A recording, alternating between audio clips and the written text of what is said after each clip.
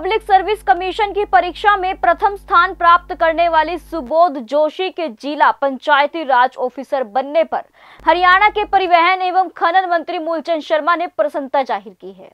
उन्होंने फरीदाबाद के सेक्टर सात डी निवासी बीपी जोशी को उनकी पुत्री के सिलेक्शन होने पर उनके घर पर जाकर बधाई दी।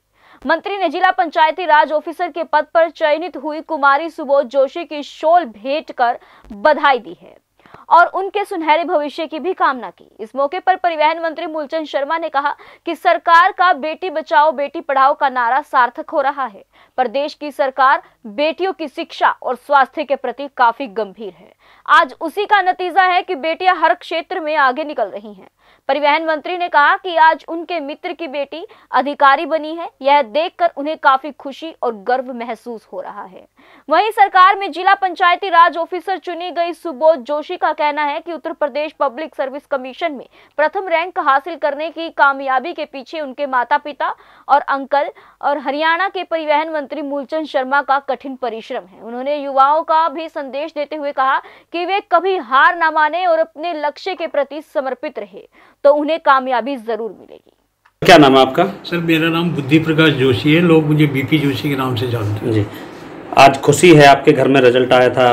पीएससी का बेटी का सिलेक्शन हुआ है। क्या कहना आपका? सर मुझे आप ये जो क्वेश्चन पूछते हैं मुझे जब भी लड़कियों का चाहे वो मेरी लड़की हो और चाहे कोई भी लड़कियाँ हो जिनको मैं पेपर में पढ़ता हूँ कि इस लड़की ने ये किया इसने ये किया इसने ये आई बन रही है ये वो बन रही है मेरे को उनकी शक्ल है मेरी सर्द और सुबोध मुझे नज़र आती है। मेरे लिए कोई खुशी नहीं है वो लड़कियाँ जब बनती हैं तभी मुझे खुशी होती है और आज ये मेरी लड़की भी बनी है तो भी मुझे खुशी है सर।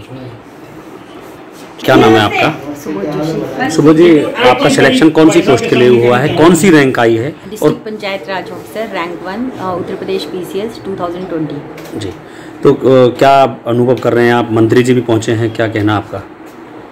मैं यही कहना चाहूँगी कि हमारे फरीदाबाद डिस्ट्रिक्ट के अंदर अंकल ने बहुत ज़्यादा लड़कियों की वुमेन एम्पावरमेंट के लिए बढ़ावा दिया है। बेटी बचाओ, बेटी जैसी स्कीम्स भी आई हैं और हमारी हरियाणा सरकार काफ़ी अच्छा कर रही है। सेक्स रेशो को, जो हमारे यहाँ पे बहुत ज़्यादा है, उसको डिक्रीज़ करने का प्रयास कर रही है और काफ़ी हद तक हम लोगों ने ये किया भी है। और आज हरियाणा सरकार ने इतना काम कर दिया है कि मुझे लगता है कि जो बच्चे यहाँ से यूपी में जा रहे हैं तो वो भी आ, सेम काम वहाँ पे करेंगे और वहाँ पे भी जो कमियाँ होगी उनको दूर करेंगे। लेकिन अ, मैं ये कहना चाहूँगी कि आज भी हम वुमेन एम्पावरमेंट की बात करते हैं। मुझे लगता है कि एक समय ऐसा आए जो शायद हमारे मिनिस्टर साहब ने भी ये सपना देखा होगा कि वुमेन एम्पावरमेंट की जगह जैसे अंकल का कहना है कि वुमेन लेड डेवलपमेंट होना चाहिए और इसके लिए ये हमारी सरकार भी प्रयास कर रही है। अंकल ने काफ़ी प्रयास किए हैं इस, इसके अंदर। और अगर ये चीज़ हो जाती है और जो हमारा पूरे देश का सपना है सस्टेनेबल डेवलपमेंट गोल का जो जेंडर इक्वालिटी का उसको हम बहुत जल्दी अचीव कर पाएँ। अब एंड आई विश कि 2030 से उसको पहले ही अचीव कर पाएँ। और हमारा देश तरक्की करे युवाओं के लिए आप क्या संदेश देना चाह रहे हैं कि आपने भी परीक्षा की तैयारी की? किस तरीके से आपका जी। मैं यही कहना चाहूँगी कि आप फेलियर से बहुत कुछ सीखते हैं। जैसे मैंने पेशेंस सीखा डेडिकेशन सीखा, ये मैंने अपनी मदर से सीखा है बेसिकली और ऑनेस्टी इंटीग्रिटी मैंने अपने फादर से सीखी है। और समाज के लिए काम करना, वो मैंने अंकल से सीखा है। तो ये सब चीज़ें होती हैं जो आप अपने आसपास के सराउंडिंग से देखते हैं। तो ये सब मुझे सीखने को मिला है और मैं चाहूँगी कि फुल रिस्पॉन्सिबिलिटी के साथ आगे इसी चीज़ को आगे इम्प्लीमेंट करूँ। और पूरी रिस्पॉन्सिबिलिटी जो भी मुझे मिलती है उसको प्रॉपरली इम्प्लीमेंट करने की कोशिश करूँगी। मैं सबसे पहले इस बेटी को इस बात की बधाई जो देश के प्रधानमंत्री नरेंद्र मोदी जी ने, जो बेटी बचाओ, बेटी पढ़ाओ का जो अभियान का नारा था और जो पानीपत से शुरुआत मनोहर लाल जी के नेतृत्व में हुई थी। उनने इस बेटी का नारा पानीपत की उस भूमि से दिया था और जिसके सफल साकार, जहाँ पे बेटियों का और जो लड़कों का, जो रेशा, वो भी आज मेरे 90 के आसपास है जो रेशा बहुत कम था। और जब बेटी पढ़ाओ बेटी पढ़ाओ, बेटी बचाओ, बेटी पढ़ाओ के जब नारे को, जो बिटिया ने साकार करा, मैं भाई जोशी जी को बधाई दूँगा, मेरे मित्र हैं।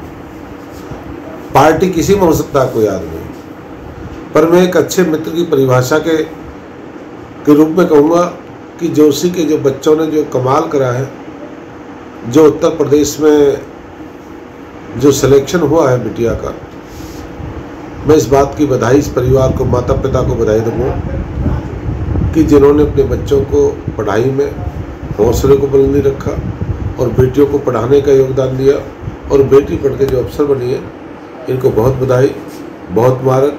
आने वाले समय में बेटियों का रास्ता और मिलेगा और इस तहसील फीदार से, मेरे पलवट फीदार से सात बच्चों का सिलेक्शन हुआ और मेरे पलवट से पहली बेटी है जिस बेटी का सिलेक्शन हुआ मैं इसके लिए बहुत बधाई बहुत